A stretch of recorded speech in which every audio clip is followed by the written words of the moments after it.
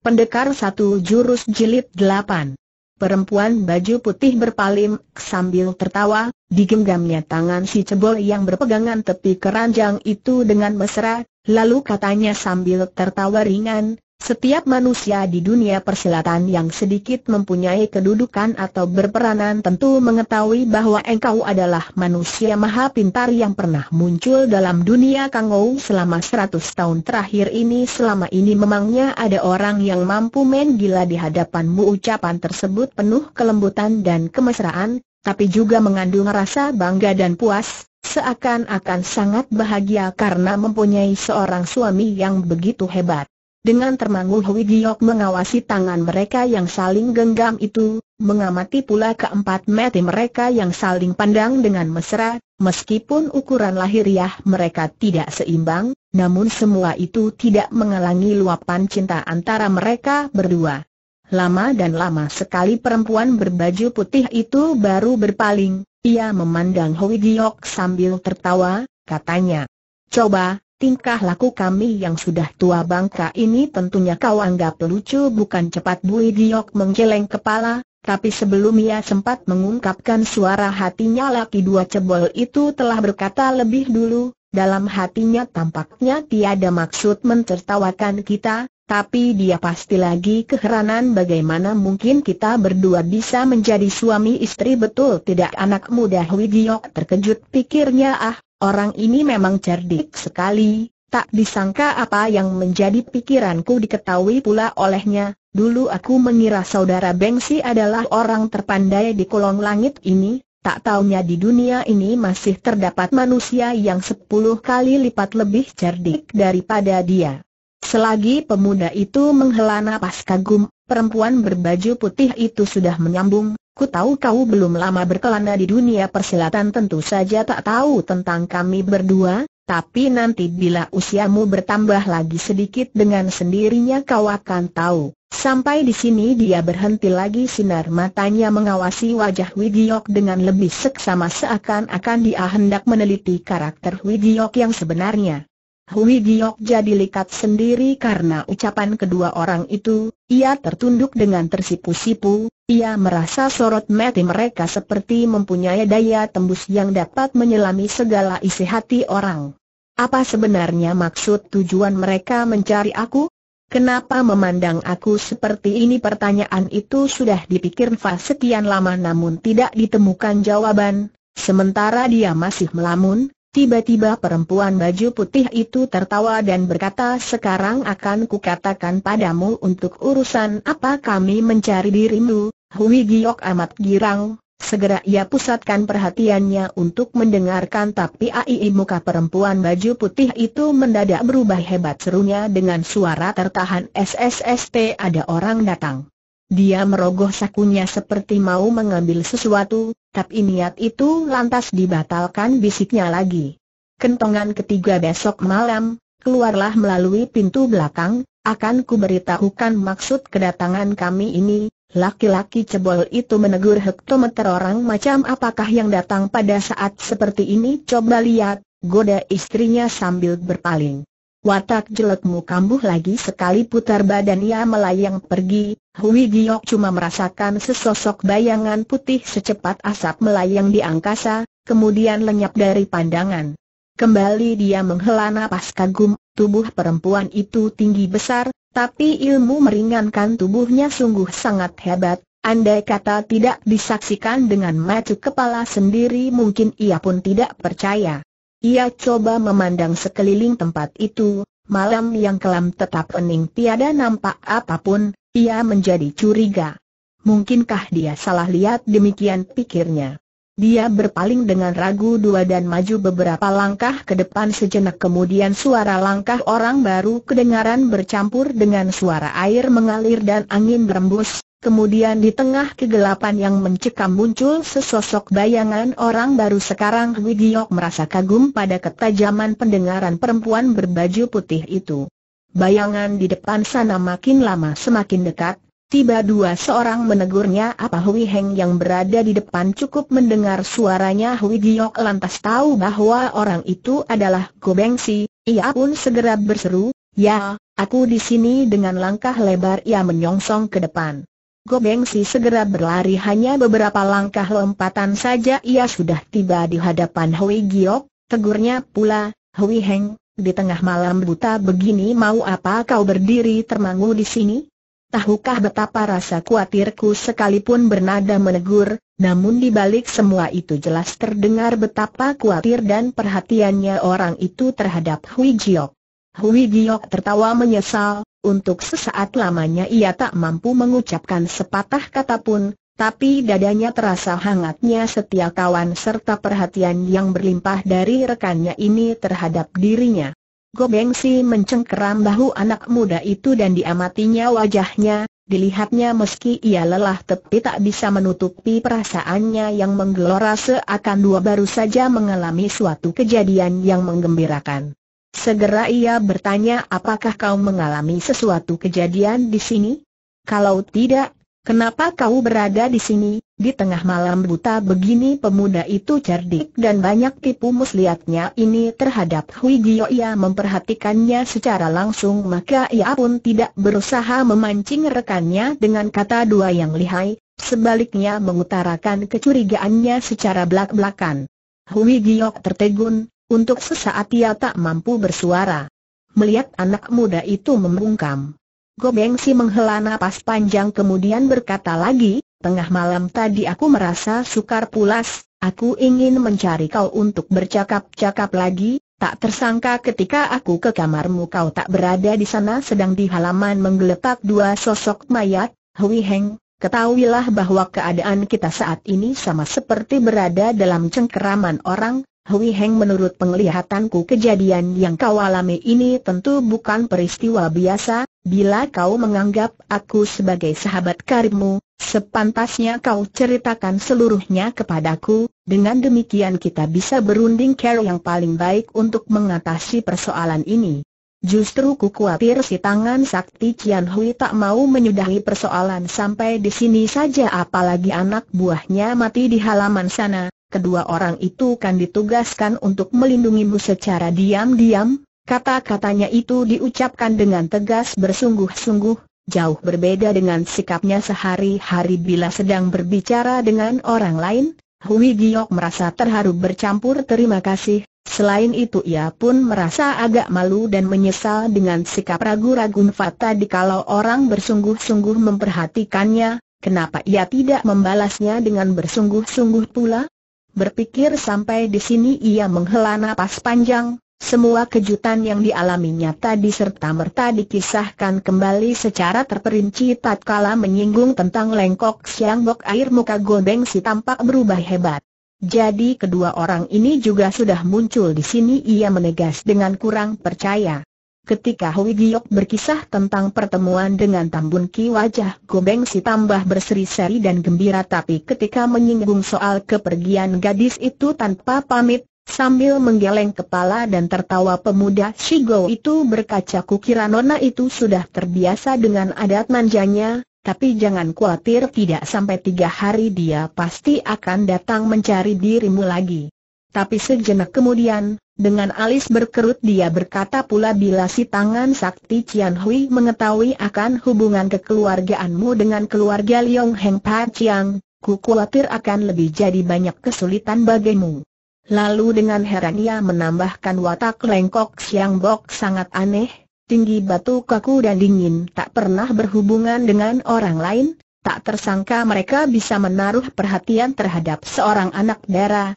setelah Wigiok melukiskan kedua suami istri dengan bentuk badannya yang aneh itu tak kuasa lagi Go Beng Si menjerit kaget hah, mereka adalah Kim Tong Giok Li, anak emas dan dewa cantik. Oh, jadi kau pun kenal mereka tanya Hui dengan heran. Dia tak menyangka kalau suami istri aneh itu berjuluk Kim Tong Giok Li dari mana bisa ku kenal mereka? Jawab Go Beng Si sambil geleng kepala, dari apa yang kau lukiskan? Itulah aku lantas tahu siapa gerangan mereka itu. Karena di dunia ini kecuali Kim Tong Giok Li tak ada orang lain yang mempunyai perawakan aneh seperti itu. Dan kungfu yang luar biasa hebatnya. Perlahan-lahan dia tunduk kepala dan serunya kemudian, sudah lama Kim Tong Giok Li lenyap dari dunia persilatan, Sungguh suatu surprise bagimu karena malam ini kau dapat bertemu dengan mereka, tahukah kau bahwa pertemuan semacam itu sepuluh kali lipat lebih aneh daripada pertemuanmu dengan Lengkok Siang Bok? Meski selama puluhan tahun belakangan ini banyak bermunculan jago dua ternama, tapi tak seorang pun dapat menandingi nama besar ketiga pasang suami istri bagaikan dewa kahyangan itu. Ia unjuk tiga jari tangannya, Lalu terusnya salah satu di antaranya adalah pasangan yang disebut suami menyanyi istri menyertai mereka kan adalah Kim Tong Giok Li inilah lalu siapakah kedua pasangan yang lain Hui Giok merasa tertarik. Go Beng Si menekuk sebuah jari tangannya menyahut masih ada sepasang suami istri lagi yang berpredikat suami menyanyi istri menyertai kedua orang ini adalah Cian Jiu Suseng dan Leng Wat Sian Chu, sedang pasangan yang terakhir adalah suami istri yang disebut suami tidak menyanyi, istri pun tidak menyanyi, mereka adalah, belum habis kata-katanya Hui Giok telah menghela napas gegetun, Ai saudara Go tahukah kan bahwa sepasang suami istri yang berpredikat suami menyanyi istri menyertai itu sekarang telah hidup berpisah mula dua Go Bengsi melengak tapi segera ia seperti memahami sesuatu katanya, Pantas sewaktu Leng Wat Siam Chu bertemu dengan kau tempo hari ia telah menunjukkan sikap begitu. Kiranya kau kenal mereka, namun Hui Giok sedang melamun sambil tundukkan kepalanya rendah-rendah, seperti tidak mendengar apa yang dikatakannya. Lama sekali anak muda itu termenung, mendadak tanyanya. Tahukah kau dengan bentuk badan Kim Tong Giok Li yang tak seimbang begitu bagaimana mungkin mereka bisa terikat menjadi suami istri rembulan telah tenggelam di langit barat, malam sudah makin larut, Fajar sudah hampir menyingsing Go Bengsi menengadah dan memandang bintang yang sudah guram di angkasa, Lalu sambil menghela napas ia menutur dengan pelahan dalam dunia persilatan memang pernah tersiar cerita tentang hal ini, kurasa kisah ini memang betul-betul suatu kisah yang menawan hati Hoi Giok tersenyum, pikirnya EHM ternyata dugaanku memang tidak keliru sementara itu Gobeng si telah melanjutkan kata-katanya, sekarang Fajar sudah hampir menyingsing, rasanya kurang leluasa bila kita berdiri terus di sini.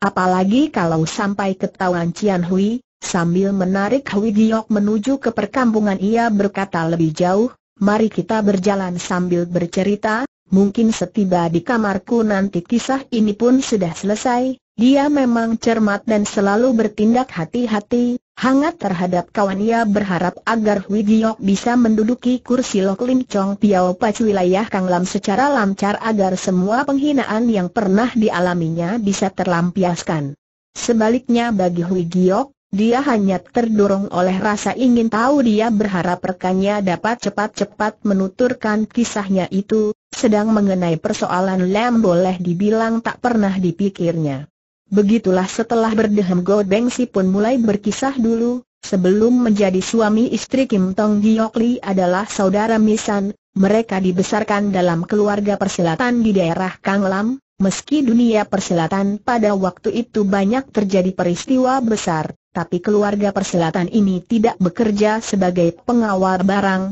tidak memasuki kalangan pemerintah juga tidak berbaur dengan orang dan golongan hitam, mereka tak pernah mencampuri soal dendam kesumat atau bunuh-membunuh yang sering terjadi di dunia persilatan, kehidupan mereka sangat tenang dan di kampung mereka hanya membuka suatu perguruan kecil menerima murid dan menurunkan ilmu setelah berhenti sebentar ia pun melanjutkan. Kepala keluarga persilatan Mi tak lain adalah kakeknya Kim Tong. Waktu mudanya ia pernah berkelana juga di dunia persilatan dengan sebilah golok emas, dengan ilmu golok warisan keluarganya kakak Kim Tong itu pernah mendapat nama yang tak kecil di dunia Kangou tetapi selanjutnya ia mengasingkan diri dan tak pernah mencampuri urusan dunia persilatan lagi, Semenjak kecil Kim Tong amat cerdik dan berbakat bagus, lagi pula merupakan cucu paling muda dan kakek itu, tak heran kalau ia amat disayang dan dimanja oleh kakeknya, sudah banyak kubengsi bercerita tapi yang dikisahkan tak lebih cuma kejadian yang umum ini membuat Hui Giok tak sabar dia menyela eh ada baiknya kau bercerita secara ringkas saja.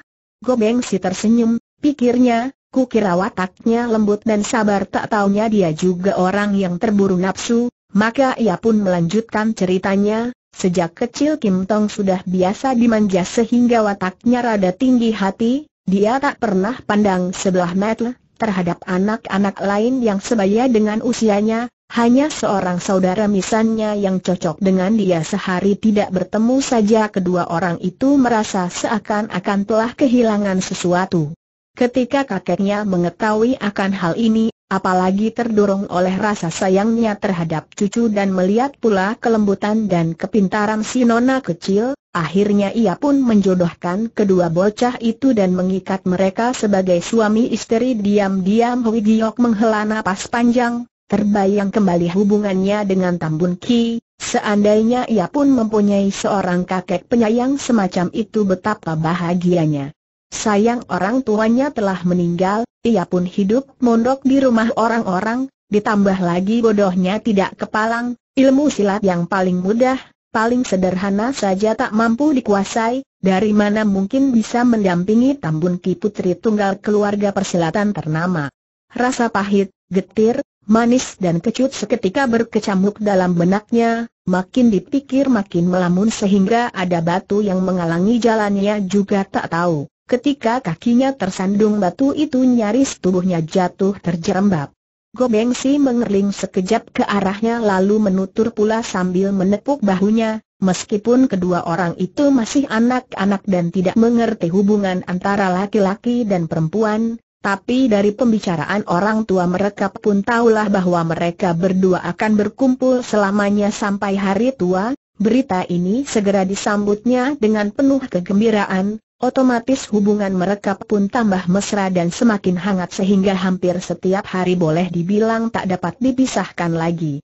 Mereka hanya berharap cepat meningkat dewasa dan kawin menjadi suami istri orang lain sering juga menggoda mereka, namun godaan tersebut tak pernah dipikirkan mereka, tiba-tiba Hui Giok tertawa cekikikan eh, dari pembicaraanmu ini seakan-akan waktu itu kau pun hadir juga di sana, Masa apa yang mereka pikirkan juga kau ketahui God Bengsi ikut tersenyum, tapi segera ia menghela napas panjang lalu berkata pula, siapa tahu Ai Malang dan Mujur memang tak dapat diramal oleh manusia, dikala keluarga yang hidup. Penuh kegembiraan dan kebahagiaan ini mencapai puncaknya, tiba-tiba suatu bencana besar yang sama sekali tak terduga telah menimpa mereka apa yang terjadi tanya Hui Giok dengan terkesiap. Sebagaimana diketahui, pemuda ini memang berwatak aneh, dia selalu berharap setiap manusia di dunia ini bisa hidup dengan gembira, setiap kali mendengar kisah sedih yang menimpa orang lain dia selalu merasa tidak tega, padahal kisah sedih yang menimpa dirinya jauh melebihi orang lain. Tetapi ia tak pernah menggerutu atau memikirkannya, demikian halnya sekarang, mendengar sampai di sini dia ikut menghela napas sedih. Gobi Iksi menghela napas panjang, tuturnya lagi, waktu itu musim semi telah tiba, tahun itu sepasang anak laki dan perempuan itu baru berusia sembilan tahun, mereka bermain di kebun belakang dan asik menangkap kupu dua, ketika kupu dua itu tiap kali akan tertangkap, tak tersangka setiap kali juga terlepas lagi, sebagai bocah yang keras hati, Kim Tong bersumpah menangkap sepasang kupu dua itu sampai dapat, Mula dua masih dalam kebun mereka sendiri, tapi lantas mereka keluar dinding pekarangan mereka pun membuka pintu dan mengejar keluar. Dalam keadaan demikian, meski anak perempuan itu lebih kecil nyalinya, tapi ia pun ikutan berbuat demikian, ke mana larinya kupu dua itu selalu dikejar tak hentinya, Makin jauh kupu dua itu terbang makin jauh pula mereka mengejarnya berulang kali Gioli menganjurkan Kim Tong pulang saja tapi kupu dua itu seakan dua sengaja memancing mereka, tiap kali mereka akan beranjak pulang, setiap kali pula sepasang kupu dua itu muncul kembali di hadapan mereka. Makin lama Hui Giok merasa makin keheranan, Tak tahan akhirnya dia menyela dari mana kau bisa mengetahui dengan begitu jelas tentang peristiwa yang menimpa kedua bulin Ciampuemi? Masa? Ai setelah kejadian itu, mereka pernah menceritakan kisah yang dialaminya itu kepada kakekku, demikian Go Bengsi menyambung setelah menghela napas panjang, dan kakekku menceritakan pula kisah itu kepadaku, karena itulah aku pun mengetahui persoalan ini jauh lebih jelas daripada orang lain. Sekarang Wigiok baru mengerti akan duduknya perkara, dia mengangguk,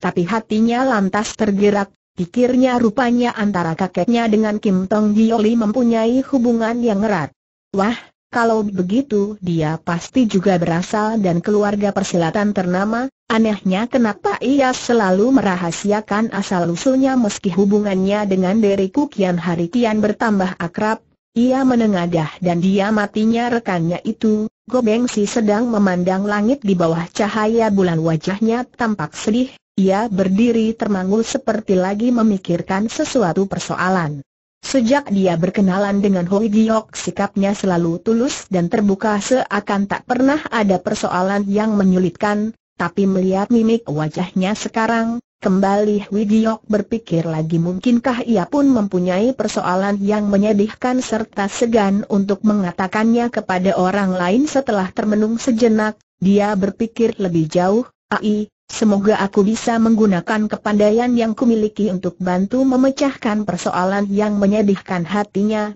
Diam dua ia mengambil keputusan di kemudian hari. Entah bagaimanapun juga dia akan mencari tahu rahasia yang tersimpan di dalam hati Go Bengsi itu dan membantu memecahkannya. Go Bengsi hanya berjalan dengan kepala tertunduk seperti lagi merenungkan sesuatu, tanpa terasa mereka tiba di depan pintu, saat itulah dia baru menengadah dengan tertegun. Eh ceritaku tadi sampai di mana? Tanyanya gelagapan. Menangkap kupu-kupu sahut Giok sambil tertawa. Oh ya, disekanya jidat yang lebar dengan tangannya kemurungan tersapu lenyap, kesegaran muncul kembali menghiasi wajahnya. Ia berkata lebih jauh karena ingin menangkap kupu-kupu, kedua anak itu terus mengejar dari siang hingga senja sementara itu matahari sudah hampir terbenam mereka pun makin lama semakin lelah, anak laki-laki itu, mendadak ia berhenti dan tertawa, Katanya kemudian ah, kurang sopan rasanya bila ku sebut Lo Chiampo itu dengan kata anak laki-laki tapi nama sebenarnya Lo Chiampo ini juga tidak ku ketahui, apa boleh buat,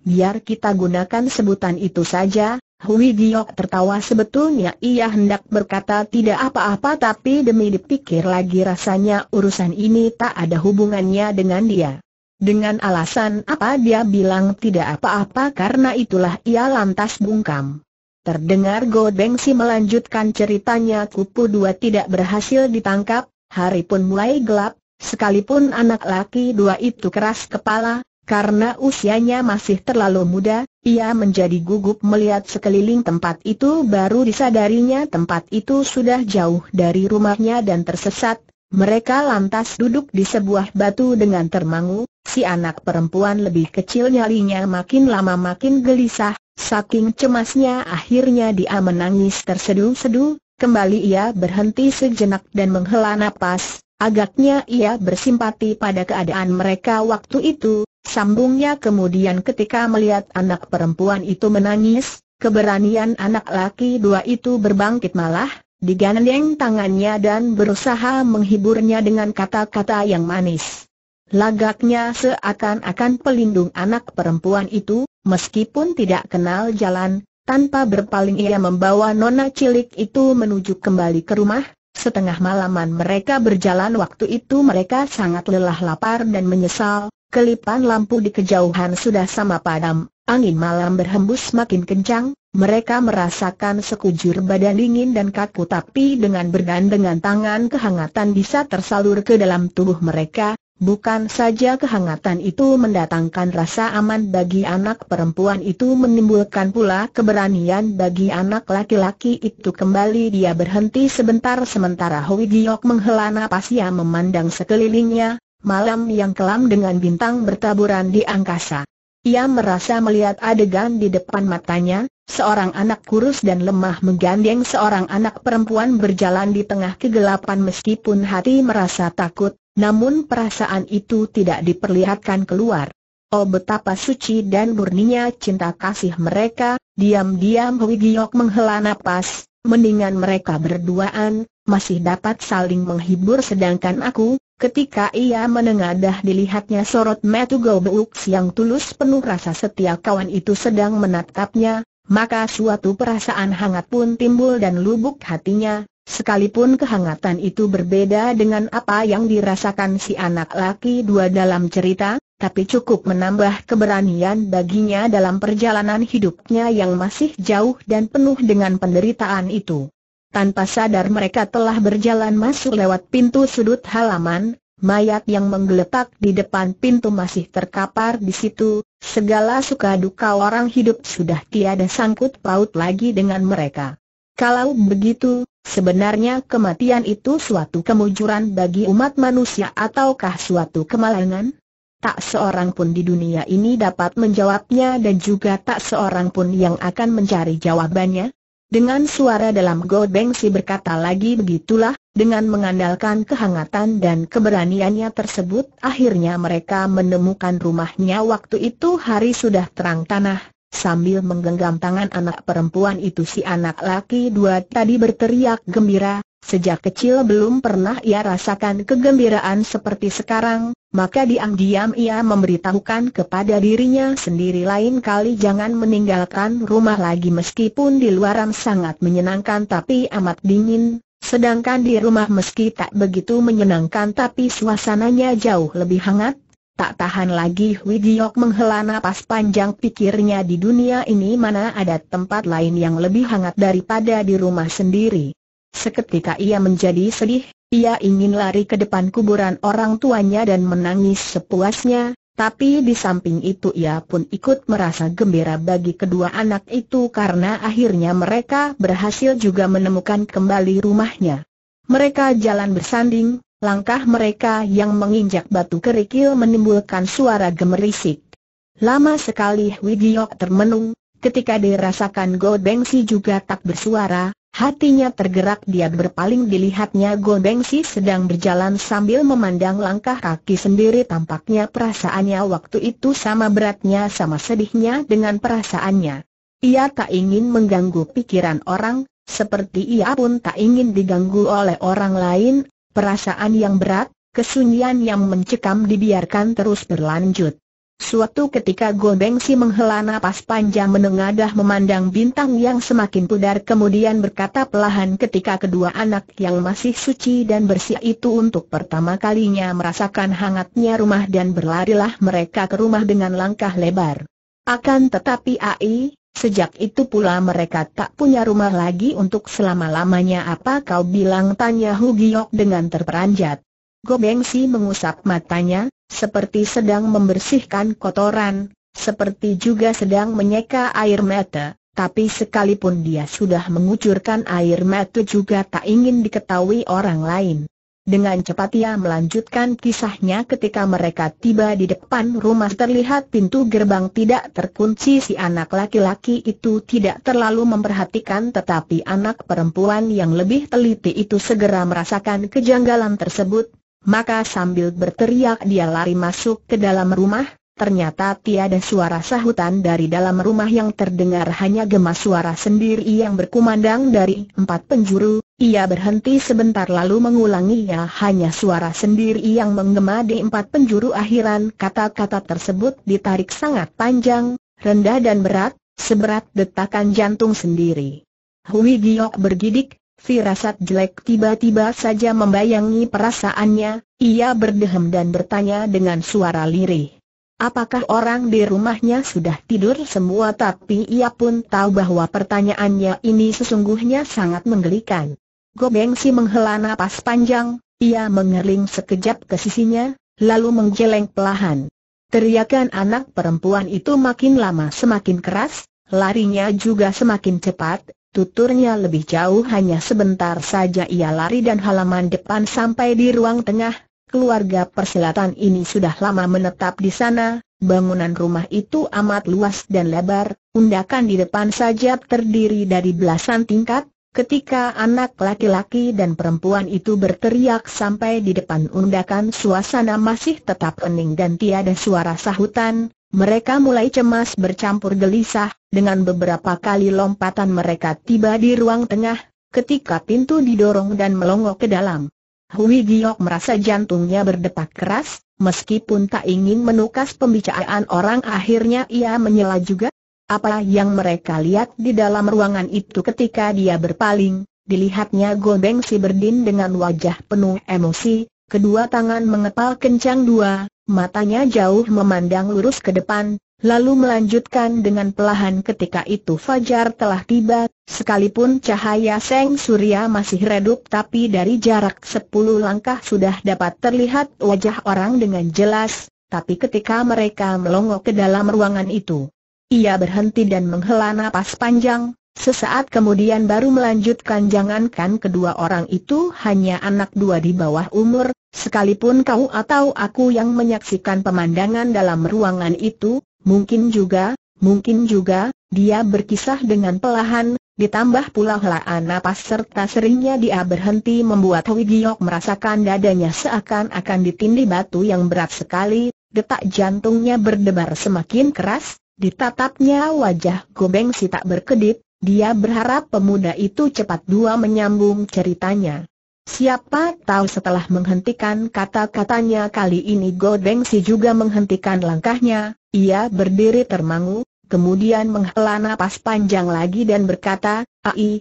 lebih baik tak usah, kulukiskan pemandangan dalam ruangan waktu itu, pendek kata, Hui Giok jadi gelisah, dia ingin bertanya tapi ingatan lain segera melintas dalam benaknya. Kenapa aku mesti mendengarkan kisah semacam itu? Kejadian yang menyedihkan rasanya sudah terlalu banyak terjadi di dunia ini. Dia tahu pemandangan dalam ruangan itu pasti mengerikan dan menyedihkan kendati pun rasa ingin tahunya amat besar. Ia berusaha mengendalikan perasaannya. Itu Gobengsi berkisah kembali. Ternyata dalam satu malaman saja Puluhan jiwa anggota keluarga kedua anak itu sudah dibantai orang secara keji, berpuluh mayat bergelimpangan di ruang lengah yang luas itu, dari pancaran cahaya remang dua yang masuk lewat pintu tertampaklah darah membasahi mayat dua itu, mereka kebanyakan mati dengan wajah kaget dan ketakutan jelas sesaat menjelang kematiannya telah mengalami rasa takut yang bukan alang kepalang sehingga mati pun mereka tak tenteram.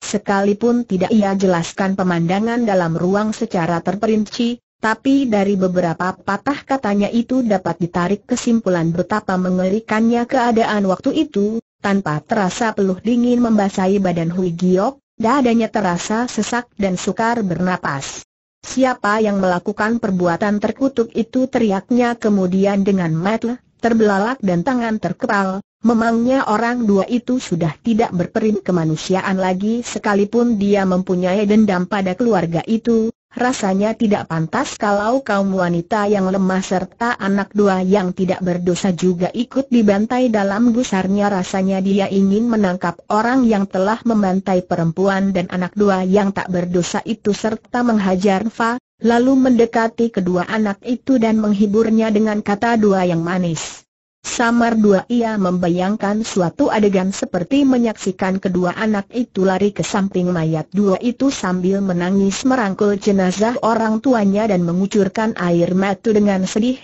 Tentu saja mereka tak mampu mengebumikan jenazah dua itu apalagi membalaskan dendam, kecuali menangis memang tak ada yang bisa mereka lakukan lagi. Kian lama pandangan Wigio itu terasa bertambah kabur, ia coba meresapi perasaan mereka ketika itu, tapi makin dipikir terasa makin bersedih sehingga akhirnya ia pun ingin menangis. Gobengsi sendiri pun sama termenung dengan mulut membungkam, akhirnya dia berbisik sudah sampai di kamar Muhwi menengadah cahaya lampu di kamarnya masih terang, Pancaran sinar dari balik kertas jendela yang putih terasa menambah seramnya suasana waktu itu. Seorang bila sedang berduka, apa yang dilihatnya sering kali akan menambah kepedihan hatinya, padahal pancaran sinar lampu yang membayangi kertas jendela adalah sesuatu yang biasa namun hal ini telah menambah murung dan kesal si anak muda itu. Mereka masuk ke dalam kamar dengan membungkam kemudian Hui Giok menghela napas dan berkata lagi, Aitaku sangka begitu mengenaskan pengalaman hidup kedua orang Ciampu itu, mengapa Kim Tong Ciampu menjadi,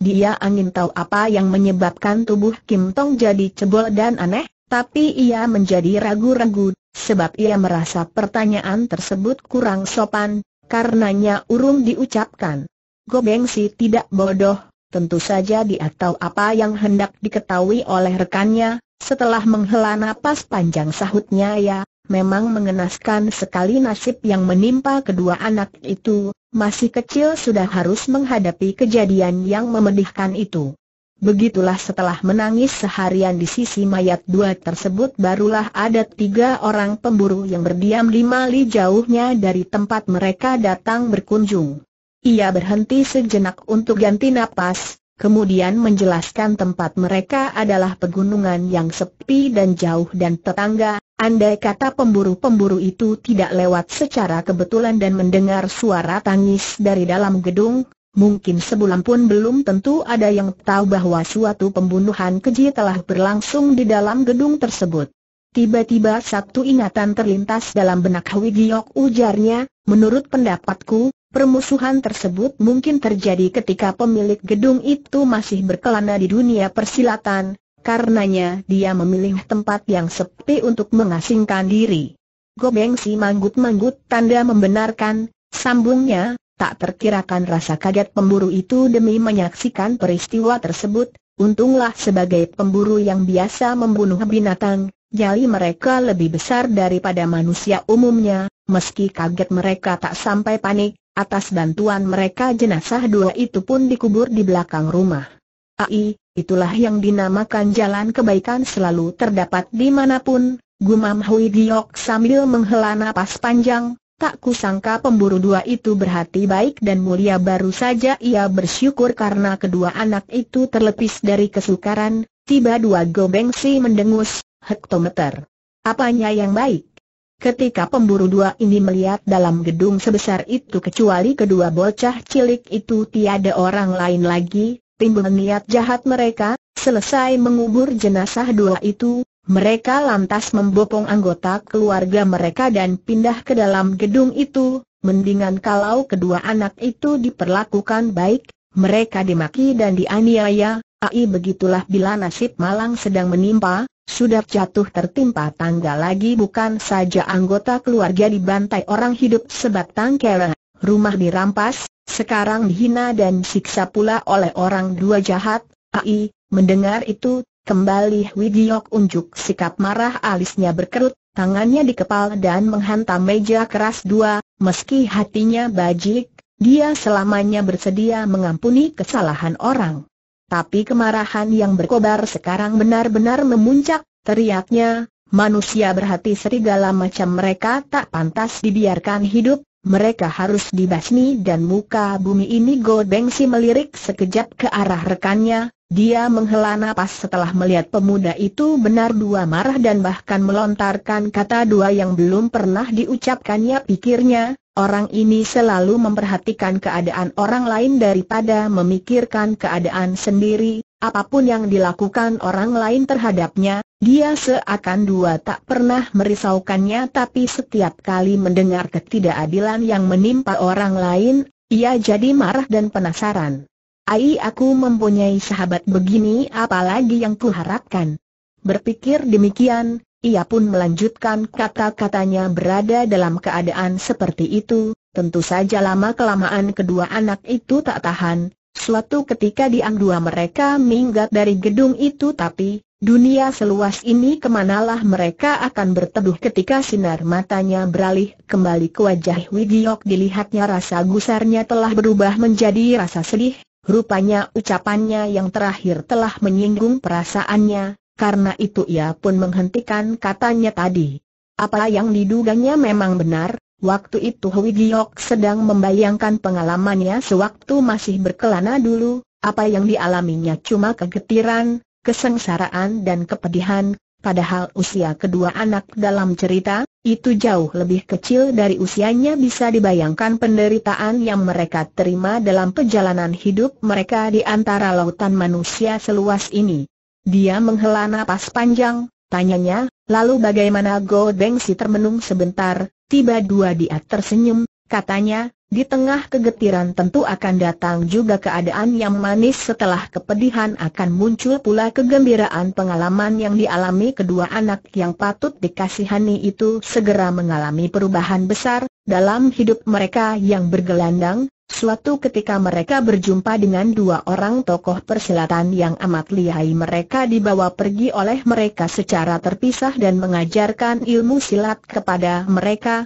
kedua anak yang patut dikasihani itu berubah menjadi tokoh sakti yang tidak ada tandingannya selama puluhan tahun belakangan ini bukan saja dendam kesumat mereka berhasil dituntut balas. Pemburu dua yang jahat dan rakus pun mereka hukum secara setimpal. Hui Heng tahukah kau, kesuksesan dan kebahagiaan yang dialami seseorang di masa mudanya belum tentu adalah rejeki, sebaliknya penderitaan yang dialami semasa masih mudanya kadangkala membuat dia lebih sukses di kemudian hari seperti juga sebuah batu pualam yang indah tak akan berharga benda itu sebelum digosok. Bukankah kehidupan seorang manusia di alam ini sama juga seperti sebuah batu mestika, melihat kepedihan Hui Giok, Teringat asal-usulnya yang penuh penderitaan ia tahu hatinya tentu kesal dan sedih, maka apa yang diucapkan barusan adalah hiburan dan dorongan baginya, sebagai pemuda yang cerdas tentu saja Hoi Giok mengetahui maksud rekannya, ia tertawa dengan rasa terima kasih, ujarnya kemudian tapi, tapi bagaimana mereka, Gobeng si tertawa, dia tahu apa yang hendak ditanyakan rekannya, maka berceritalah dia lebih lanjut. Meskipun mereka terpisah tapi hati mereka tetap dekat, di waktu senggang sehabis berlatih silat mereka selalu saling merindukan pihak yang lain, tapi mengingat dendam kesumat sedalam lautan yang harus dituntut, mereka berlatih terus dengan tekun. Di samping itu mereka juga tahu bahwa guru mereka merupakan tokoh persilatan yang berilmu tinggi bila mereka berhasil menguasai kungfu yang diwariskan kepadanya niscaya ada harapan bagi mereka untuk membalas dendam maka penderitaan batin bisa berkurang banyak. Setiap hari mereka berharap agar kungfu mereka cepat berhasil mencapai tingkatan yang tinggi berharap pula agar mereka cepat dewasa hingga bisa turun gunung dan membalas dendam serta berjumpa kembali dengan orang yang dicintainya, sebab itulah mereka berlatih siang dan malam tak henti-hentinya. Melihat muridnya rajin berlatih tentu saja kedua tokoh silat itu sangat gembira, Hampir satu jam lamanya Go Bengsi mengisahkan cerita dua yang sedih itu, sampai sekarang baru disinggung hal dua gembira, keadaan ini ibaratnya seng surya yang muncul di balik awan mendung, membuat kemurungan dan kesedihan yang selama ini mengganjal hati Hoi Giok jadi lega rasanya, tiba-tiba Go Bengsi tak dapat mengendalikan perasaan kembali ia menghela napas panjang. Ai, tapi kejadian di dunia ini memang sukar diramalkan, apa yang terjadi di alam ini kadang kala bagaikan perubahan cuaca yang sukar diramalkan, kejadian yang kemudian berlangsung sama sekali di luar dugaan mereka, anak perempuan itu makin hari makin meningkat dewasa, kungfunya makin bertambah lihai, sepuluh tahun kemudian ilmu silatnya berhasil mencapai tingkat tinggi. Dia pergilah menjumpai kekasihnya dengan penuh harapan, di sana ia temukan kekasihnya yang sudah berpisah sepuluh tahun ini. Bukan saja tidak tambah besar malahan AI, ternyata tubuhnya tetap cebol seperti badan seorang anak berusia tujuh delapan tahun. Sekalipun Hui Giok telah mengetahui hal tersebut akan tetapi demi mendengar cerita itu tertegun juga dia, Sungguh ia tak dapat membayangkan bagaimanakah perasaan kedua orang itu ketika saling berjumpa, ia tak tahu apakah dia harus bersimpati terharu atau entah bagaimana lagi perasaannya. Sebenarnya apa yang menyebabkan Ciampu itu menjadi pendek seperti anak kecil tanyanya kemudian. Setelah mereka melarikan diri, setahun lamanya mereka hidup bergelandangan, selama setahun itu tentu saja banyak penderitaan yang mereka alami. Anak laki dua itu merasa dia adalah seorang laki dua, adalah menjadi kewajibannya untuk melindungi anak perempuan itu, meski usianya masih kecil namun kekuatannya tidak kecil, untuk menyambung hidup setiap hari anak laki dua itu menjadi kuli. Ia bantu orang mengangkat barang di dermaga atau di rumah dua penginapan dengan upah yang kecil inilah mereka hidup.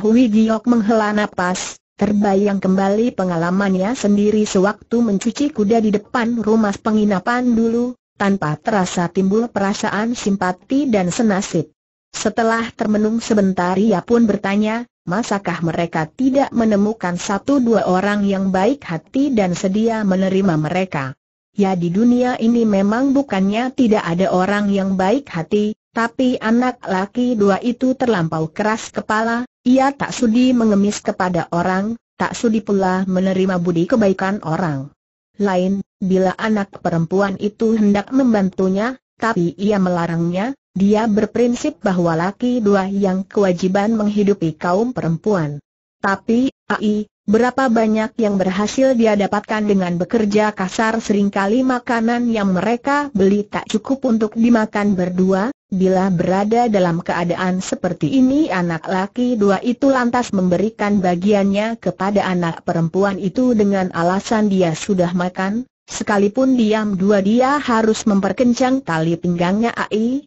Hui Heng, tentu kau juga pernah, ya, aku memang pernah mengalami penghidupan seperti ini sahut Hui Giok dengan kepala tertunduk. Mereka berdua sama dua pernah mengalami kelaparan, kedinginan dan siksaan lahir batin, maka ketika mereka terbayang kembali pengalamannya di masa bergelandangan tanpa terasa mereka sama-sama termangu. Lama sekali Go Beng si baru berkata lagi. Tahun itu usianya belum mencapai sembilan tahun, tulang belulangnya belum tumbuh dengan baik, bagaimana mungkin anak itu sanggup menahan penderitaan yang tak terkirakan beratnya itu? Otomatis masa pertumbuhannya juga mengalami rintangan, apalagi ketika ia tekun berlatih silat kungfu yang dipelajarinya adalah sejenis ilmu silat dari unsur dingin, padahal perasaannya waktu itu banyak murung dan sedihnya daripada gembira, mungkin pembawaannya juga tidak normal maka pertumbuhan badannya jadi kerdil dan selamanya juga tak bisa tumbuh lebih tinggi.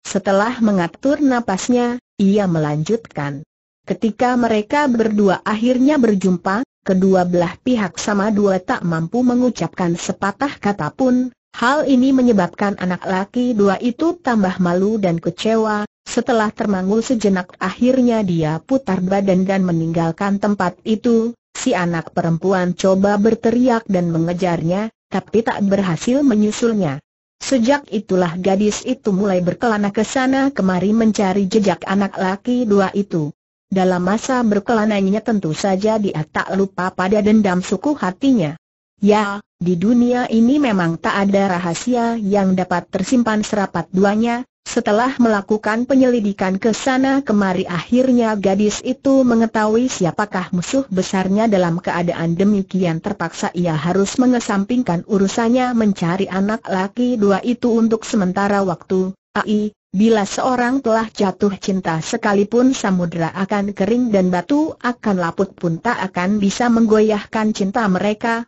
kata Hui Giok sambil menghela napas betapa dalam cinta Ciampu ini, Sungguh patut kita hormati dia sendiri seorang laki dua yang perasa, maka ketika mendengar tentang betapa agungnya cinta kasih orang lain, segera timbul rasa kagum dalam hatinya. Gobengsi berkisah lagi ketika dia siap akan melakukan pembalasan dendam, diketahuinya ada tiga orang musuhnya yang tewas sisanya satu orang sedang berusaha menyelamatkan diri, Sedangkan orang yang membinasakan ketiga orang itu tentunya itu bukan lain adalah kekasih yang sedang dicarinya itu, maka ia pun melompat maju dan membinasakan musuhnya yang terakhir, lalu kepada anak laki dua itu dia berkata bahwa apa pun yang terjadi dia masih tetap mencintainya, ia berharap agar anak laki dua itu bersedia pula hidup bersama dengannya. Dengan mengembang air mata dia menghela napas panjang, Terusnya pernyataan cinta yang suci itu benar dua menggetarkan Sukma, anak laki dua itu pun sangat terharu,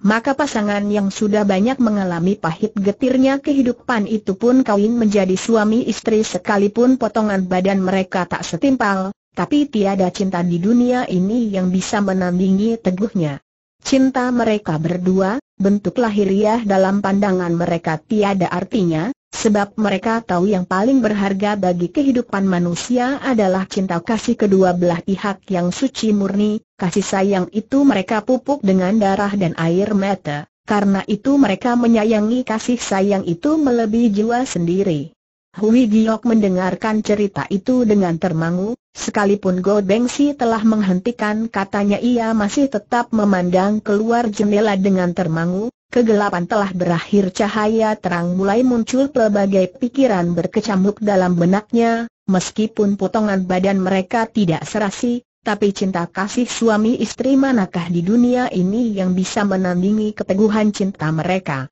Ai, Sekalipun wajah dan potongan badannya serasi, lalu apa gunanya berpikir sampai di sini tanpa terasa ia pun teringat kepada diri Cian Jiu Suseng dan Leng Wat Sian Chu, bukankah mereka amat serasi baik potongan badan maupun wajahnya? Tapi bagaimana akhirnya? Ia sudah tahu bahwa di balik hubungan cinta antara Kim Tong dan Giok Li pasti terdapat suatu kisah cerita yang menarik tapi ia tak pernah menyangka kalau di balik semua itu terselip liku duanya orang hidup. Sejak itu pula ia pun tahu bahwa cinta yang tidak mengalami pelbagai percobaan adalah cinta yang lemah dan tidak kukuh. Cinta harus dibina dan dipupuk dengan air mata dan pengorbanan barulah akan berbuah.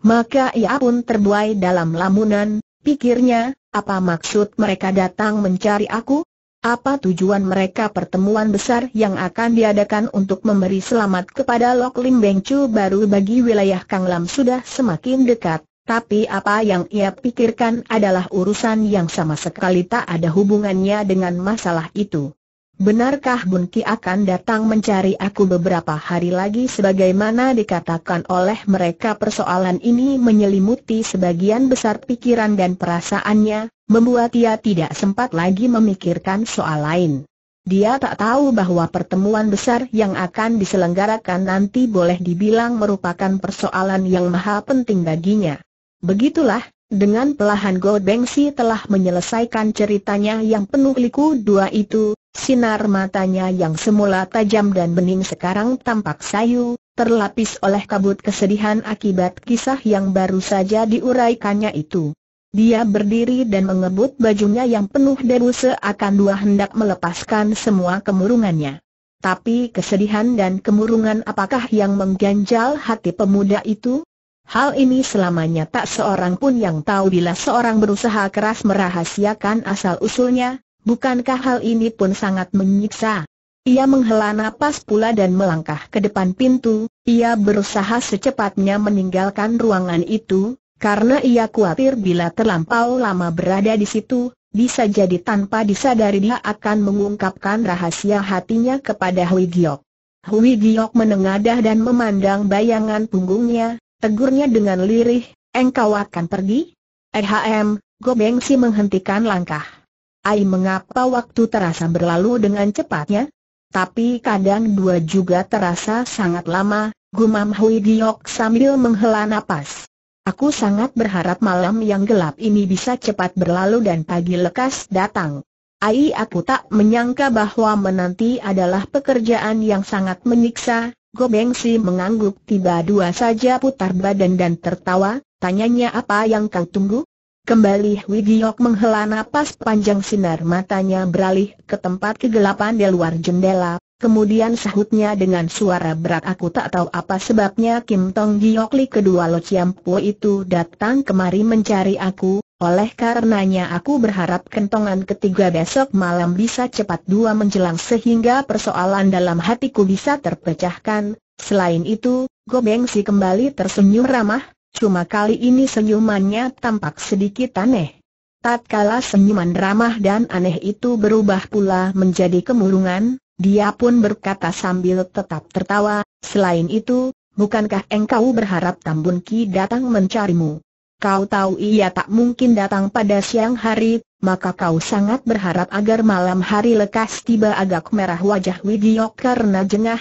tapi sekulum senyuman penuh rasa kagum dan memuji segera tersungging di ujung bibirnya, seakan-akan hendak berkata ah, kau memang hebat, apa yang kupikirkan selalu kau ketahui, tapi perkataan itu tak sampai diutarakan, dia hanya mengakuinya secara diam dua. Pelahan Gaudengsi menghampirinya, Sambil menepuk bahunya ia berkata dengan tertawa menanti walaupun merupakan pekerjaan yang menjemukan dan membuat hati jadi gelisah, tapi hal ini pun sesuatu yang indah, bila tiada kegelisahan dikala menanti, dari mana akan muncul kegembiraan setelah bertemu selesai berkata dia lantas berlalu dari kamar itu. Sekali lagi Wigiok memandang bayangan punggungnya yang makin menjauh, ia merasa betapa indah dan menawannya perkataan itu. Maka ia pun meresapi penderitaan sewaktu menanti melamunkan kegembiraan pada saat berjumpa nanti. Cahaya keemasan mulai menyinari kertas jendelanya barulah ia tertidur oh oh oh oh oh, sinar matahari di musim semi sebagaimana biasa terbit dari timur dan memancarkan sinar keemasannya menembus kertas jendela dan menyinari wajah Widiok yang tampan,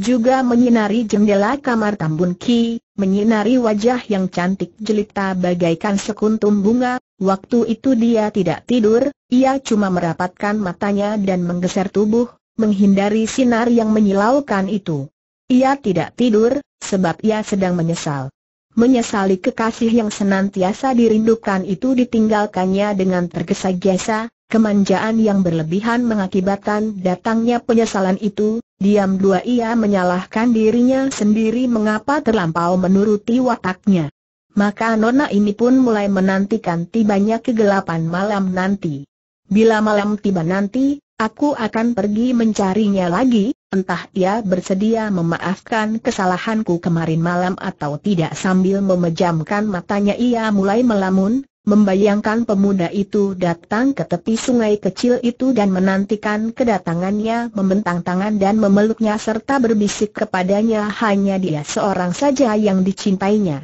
Hari itu dia berharap dapat melewatkan dengan serba manis, tapi ketika orang dua persilatan mengetahui bahwa putri kesayangan Liong Heng Pat Chiang, pemimpin besar Hui Liong Piao Kiok berada di sini, mereka telah merampas ketenangan si Nona, kunjungan demi kunjungan berlangsung tiada putusnya, mereka datang mengunjungi si Nona menyambangi Koai Be Sin Tu Kiong Ching Yang dan Pat Koai Chiang Liu Hui, kedua Piao tahu kenamaan itu, banyak juga pengunjung itu melirik sekejap kedua leng bersaudara yang dingin, kaku dan melihat itu, semua orang sama merasa heran bagaimana kedua makhluk aneh itu dapat bergaul dengan orang dua Hau Liong Piao Kiok, cuma tak seorang pun yang berani bertanya. Hari ini sudah tanggal 2, tinggal tiga hari lagi tepat tanggal 5 bulan 5 hampir semua jago persilatan menunggu dengan hati gelisah, menunggu tiga hari lagi untuk berbondong dua menyampaikan selamat kepada bengcu mereka yang baru.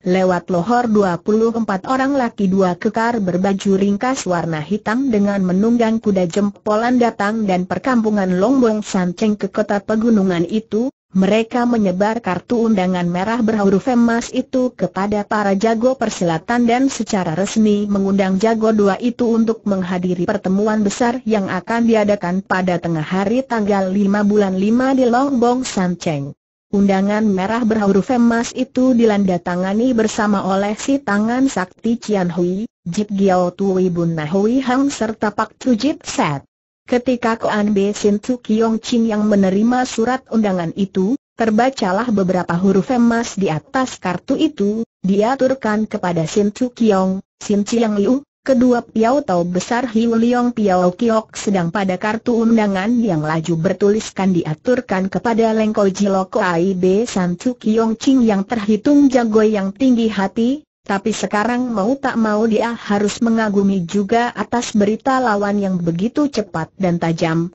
padahal baru satu hari mereka tiba di situ dan orang pun sudah mengetahui jejaknya sampai sejelas itu. Muka setelah termenung sebentar dia mengambil sekeping uang perak untuk persen pengantar kartu undangan itu. Tanpa mengucapkan terima kasih, juga tidak menolak pemberian itu, Pengantar kartu itu dengan gesit mencemplak ke atas kudanya dan pergi dengan cepat tinggal Kiong Ching yang masih berdiri dengan termangu dengan uang perak itu masih berada di tangannya. Sejak lengannya tergetar patah oleh Cian Jiu Suseng dengan pukulan tenaga dalam yang lihai, tabiat orang itu sudah jauh mengalami perubahan bila dibandingkan sebelum itu. Kali ini dia mendapat perintah Liong Ii Upet Chiang ke situ untuk menyelidiki keadaan orang dua Loklim di daerah Kang Lam, maka sedikit banyak hatinya diliputi rasa was dua dan tidak tenang. Sebab ia tahu tugas ini bukan pekerjaan enteng, Meskipun ia punya kedua leng bersaudara sebagai tulang punggungnya namun sampai detik itu ia masih belum yakin apakah kedua makhluk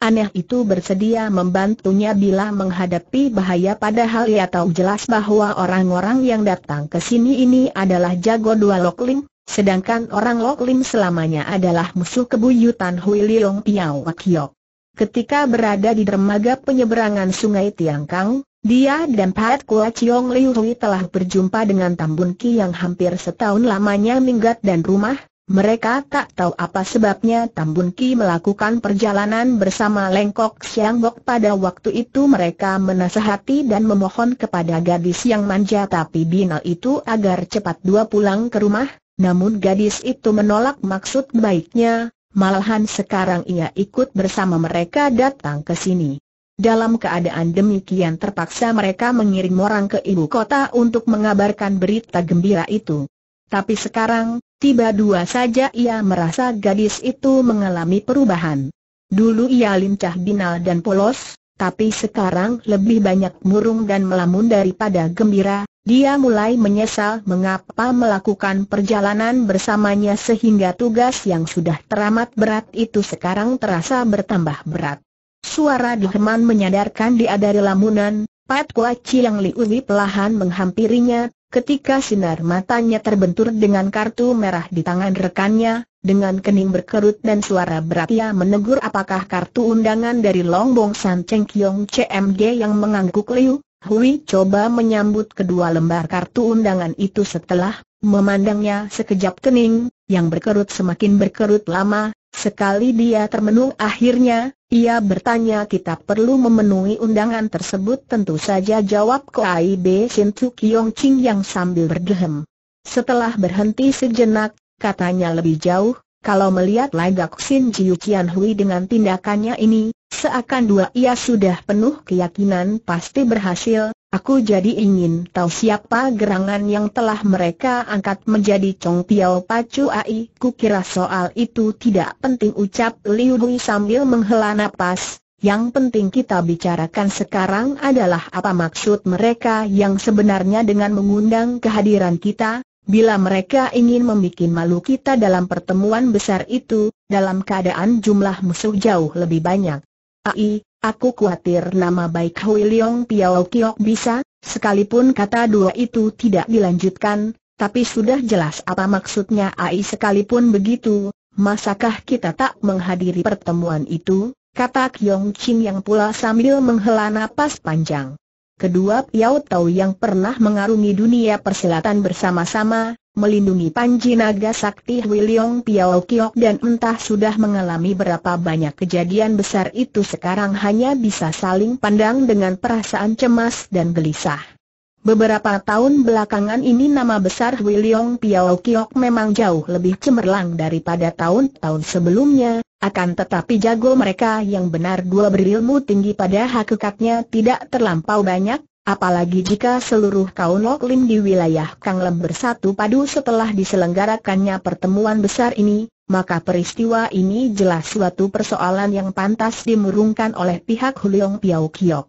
Langit sudah mulai gelap, kota Keng Ho selatan cahaya lampu tampak lebih terang daripada hari dua biasa, Koaibe Sin Tu Kiong Chin Yang dan Pat Kua Chiang Li Uwi tidak menginap di kantor cabang Hui Leong Piao Kiok di kota Kengko yang mewah dan penuh dengan kesenangan itu, melainkan berdiam di sebuah rumah penginapan yang sederhana tapi bersih di kota gunung itu, pertama karena kedua orang Piao tahu dari kantor cabang Kengko itu sedang pergi ke Secuan, kedua mereka pun ingin menghindari pengamatan orang dua Longbong San Cheng. Tapi mereka gagal, di mana seorang jago kenamaan muncul, berita tersebut segera akan tersiar lebih cepat daripada penularan wabah penyakit, apalagi mereka adalah orang-orang dari Hui Leong Piao Kiok. Tatkala senja tiba, banyaklah orang dua yang berkunjung ke kota gunung ini, Tentu saja sebagian besar adalah orang dua gagah dan golongan putih kedatangan mereka tidak mutlak ingin mengunjungi Piao Tong Hui Leong Piao Kiok tersebut yang lebih penting mereka ingin tahu bagaimanakah reaksi serta rencana tindakan orang-orang Hui Leong Piao Kiok terhadap diselenggarakannya pertemuan besar penghormatan kepada Kang Lam Lok Lim Beng Chu ini.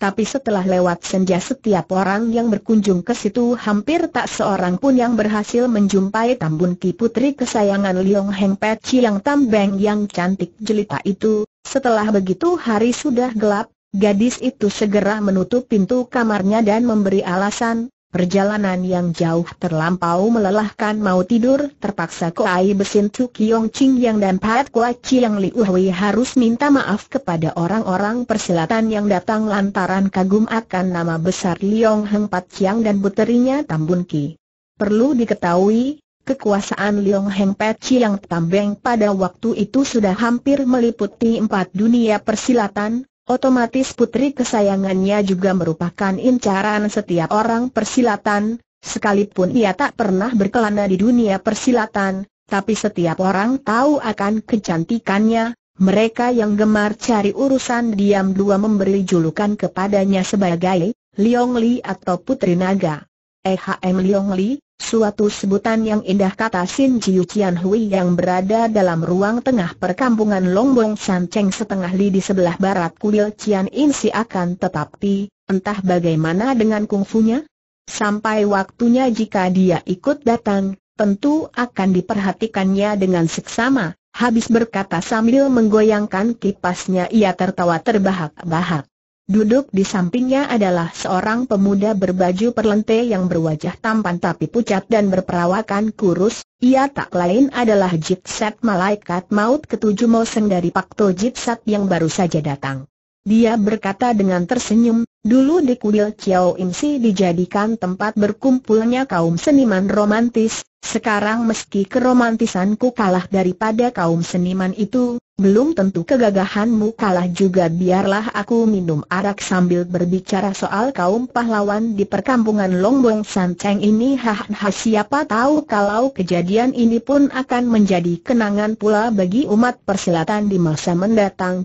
Care berbicara orang ini bukan saja halus dan lirih seperti suara perempuan, Tindak tanduknya juga tidak berbeda dengan gaya seorang perempuan, siapa yang tidak kenal dengannya tentu takkan mengira orang ini justru adalah Jit Set Mosen yang paling kejam, paling ganas dan kungfunya paling tinggi di antara Pakto Jit Set. Sambil mengelus jenggotnya Sin Jiu Chian Hui terbahak-bahak, hahaha, tepat, Tepat sekali memang keromantisanmu tidak kalah dengan kaum seniman hahaha, bila Liong Li Tambun Ki bertemu dengan Moheng, tentu, hahaha tentu mulai saat itu Moheng akan mendapat julukan sebagai Liong Sei, menantu naga semua jago yang hadir ikut tertawa tergelak nyaring sekali suaranya sehingga menggetarkan seluruh ruangan di tengah gelak tertawa itu. Hanya Jit Giao Tong Chugo Bengsi yang duduk di sudut saja tampak wajahnya berubah, ia seperti mau berdiri, tapi setelah memandang sekejap sekelilingnya akhirnya dia menghela napas dan urung berdiri.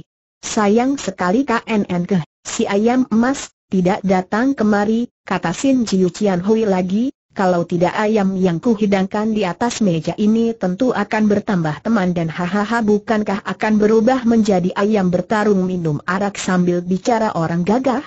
Hahaha, gelak tertawa yang nyaring kembali bergema kali ini, Jip Giao Tang Chugo Bengsi ikut tertawa. Cuma, gelak tertawa yang nyaring itu tak terdengar oleh Wigiok yang janji di kebun belakang. Ia tahu kawanan jago persilatan yang merasa kedudukannya cukup terhormat telah berdatangan dari delapan penjuru untuk berkumpul di Longbong Sanceng, di antara Pak Chujit Set, kecuali Sam Set Mosu yang tidak diketahui kabar beritanya, dari enam anggota lainnya ada empat orang sudah hadir di situ, Toa Set Mo Lam dan Ngao Set Mo Pak yang dikejar oleh Leng Wat Sian Chu Aye Ching tempo hari berhasil melepaskan diri dari ancaman maut ketika tiba-tiba muncul seorang yang mengalangi Aye Ching. Sekarang mereka juga sudah datangi kecuali itu banyak pula kawanan jago yang tidak dikenal Hui Giok telah berkumpul di sana, Pemuda itu tahu bahwa kedatangan semua orang itu tak lain adalah untuk dirinya.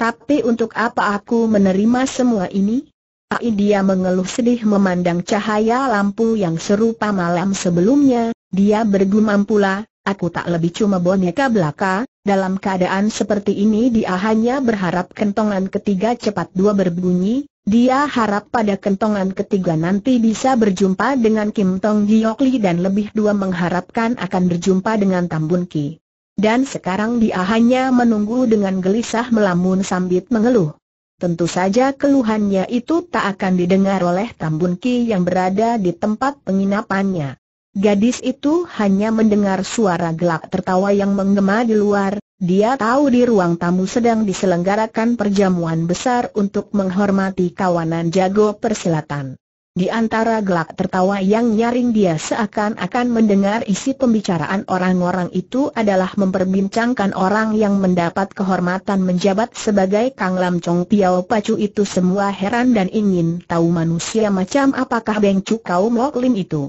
Ada di antaranya yang berkata, Konon orang itu adalah murid kesayangan Tian Tong Wu dari Kun Lun Pei bukan saja Kun Lun Tiam Hoatnya sudah mewarisi segenap kepandaian gurunya, terutama dalam hal ginkang, katanya luar biasa, tapi orang lain segera menimpali apa yang kudengar malah jauh berbeda tentunya kau tahu tentang perguruan Heng Ih Bun yang pernah menggetarkan dunia Kang Ho pada puluhan tahun berselang yaitu Ji Chiang Kim Poh yang disebut sebagai pendiri perguruan Heng Ih Bun? Meskipun kemudian harinya orang tua itu tak mencampuri urusan Heng Ih Bun lagi lantaran murid dua perguruan tak becus, Padahal secara diam-diam ia mempunyai seorang ahli waris yang amat tangguh. Ku dengar Beng Chu kaum Liok Lim ini bukan Lam adalah murid Ji yang itulah, karena ucapan ini, seruan kaget segera memenuhi seluruh ruangan, tapi seorang segera membantah, keliru, keliru besar, Dugaan kalian semuanya keliru besar sengaja ia berhenti sebentar dan berlagak jual mahal ketika dilihatnya perhatian semua orang tertuju kepadanya, selang sesaat ia baru meneruskan masih ingatkah kalian akan manusia? Berkerudung yang misterius yang pernah muncul pada 10 tahun yang lalu di dunia persilatan itu, di mana bukan saja belasan perusahaan Piao Kiok telah dimusnahkan, bahkan Ou yang pengcil Piao Tau yang kosem pun ikut tewas? Nah, Liok Lim Beng Chu itu bukan lain adalah putra manusia berkerudung itu katanya kemunculannya ini adalah untuk membalas dendam bagi kematian orang tuanya, maka seruan kaget dan helaan napas tambah santar menggema ruangan itu, terutama orang dua yang bekerja di perusahaan ekspedisi wajah mereka sangat murung dan khawatir. Hanya Tambun Ki saja yang tertawa geli di kamarnya, tak bisa dibayangkannya bagaimanakah mimik wajah Kiong Ching Yang dan Li Uwi tatkala kedua orang itu mengetahui bahwa Liok Lim Beng Ching yang disegani Mi tak lain adalah Hui Giok yang dulu sering dihina oleh mereka.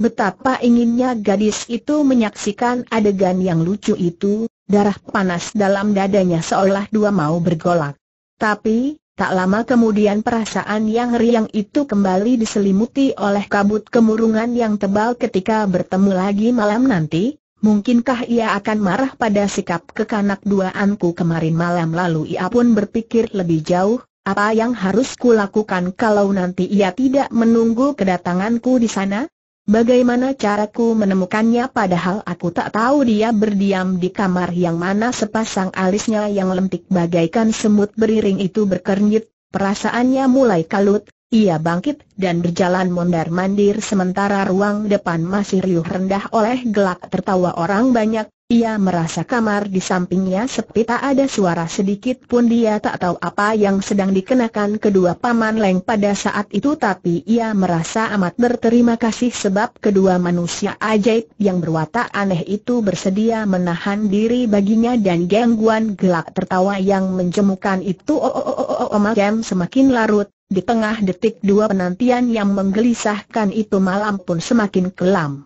Tok, tok dua kali kentongan membelah kesunyian malam. Ah, kentongan kedua sudah tiba sambil merapatkan pakaiannya dan dua Hoi Gio ngeluyur ke halaman belakang, ia berusaha memperingan langkah kakinya sehingga tidak menimbulkan suara onolo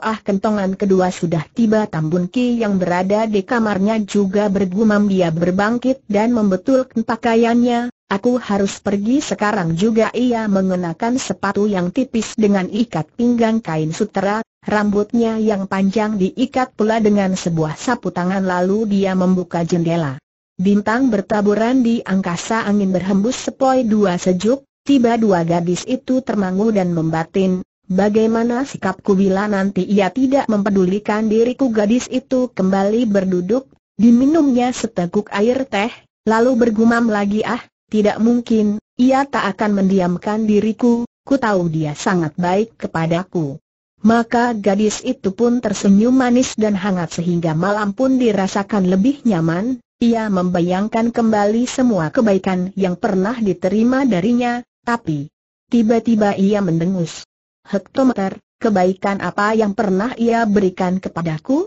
Buktinya ketika minggat ia tidak memberi kabar kepadaku sehingga aku harus menderita ketika akhirnya ia ku temukan kembali dia cuma bertanya kepadaku bagaimana dengan Tintin? Huh, bagaimana dengan Tintin gumamnya lagi? Uh, ia mencibir dan menarik ikat rambutnya dengan gemas bagaimana dengan Tintin? Setan kali yang tahu ia duduk kembali di kursi, sepatunya dilepaskan kembali, Sepatu yang mungil itu dilemparkan ke sudut kamar hingga menimbulkan suara keras. Malam itu ia tidak pergi, bahkan tak pernah meninggalkan kamarnya barang selangkah pun sebab sepanjang malam perasaannya terbenam datar keadaan saling bertentangan dan penderitaan, Hatinya hampir saja terkoyak-koyak. Pergilah, dia pasti menunggu dirimu pasti akan memaafkan semuanya kenapa mesti pergi? Dalam hal apa kau perlu dimaafkan? Karena dia, kau sudah menderita sedangkan dia, ketika bertemu kembali orang lain yang segera ditanyakannya oh, oh, oh, oh Fajar sudah menyingsing pula, sudah dua malam Tambun Ki tidak tidur, persis seperti keadaan seorang laki dua pemabuk yang baru sadar dari pengaruh alkohol, sekujur badannya terasa letih dan tak bertenaga, ia berbaring di pembaringan tanpa bergerak, bahkan ujung jari pun rasanya malas untuk digerakkan. Waktu makan siang, baru saja rasa mengantuk menyerang, tiba-tiba terdengar orang menegurnya dengan lembut anak Ki, sakitkah kau ketika ia membuka matanya, dua sosok bayangan manusia yang tinggi kurus berdiri di depan tempat tidur, tiba dua ia merasa ingin menangis akhirnya dua titik air mata jatuh membasahi pipinya. Lengkogok berkerut dahi, Sekalipun dia tidak begitu paham tentang perasaan anak gadis, tapi ia tahu anak darah itu tidak sakit sungguh dua, dia cuma sakit rindu saja, diliriknya Leng Hon Tiok sekejap, kedua orang itu tahu apa sebabnya gadis itu mengucurkan air mata, tapi mereka tak biasa menghibur orang maka mereka pun tak tahu apa yang mesti dikatakan terhadap gadis yang sedang berduka dan kasmaran itu. Bun Ki merapatkan matanya berusaha menyembunyikan cucuran air matanya itu, tapi akhirnya air matanya tetap menetes ke bawah. Dengan sedih ia menghela napas, keluh Valirih aku tidak sakit Leng Toa dan Jesiok, sebelum selesai perkataannya, tiba-tiba pinggangnya terasa kesemutan, rasa mengantuk segera menjalar dari bagian yang kaku itu dan menyelimuti seluruh badannya.